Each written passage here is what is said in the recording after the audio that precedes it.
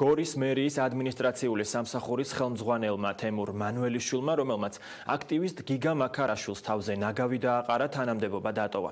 მაქარაშვილი ამბობს, რომ მის მიმართ დავას შეწყვეტს თუ მანუელიძე, მანუელიშვილი საზოგადოებას გულწრფელ ბოდიშს მოუხდის.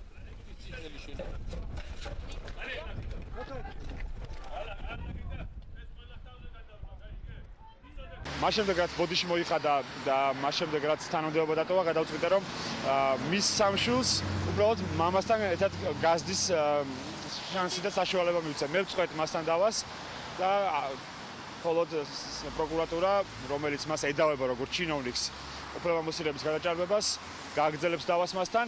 არ ვიცი მე რა შედეგი დადგება, უბრალოდ მე ვთქვა, რომ ეს იყო აბსოლუტურად პრინციპული საქმე და აქ ამიერიდან ყველა ჩინოვნიკმა, რომელიც რაიმე მსგავს გადაწყვეტს, უნდა იცოდეს, რომ არც ერთ შემთხვევაში არაფერი არ შეერჩება.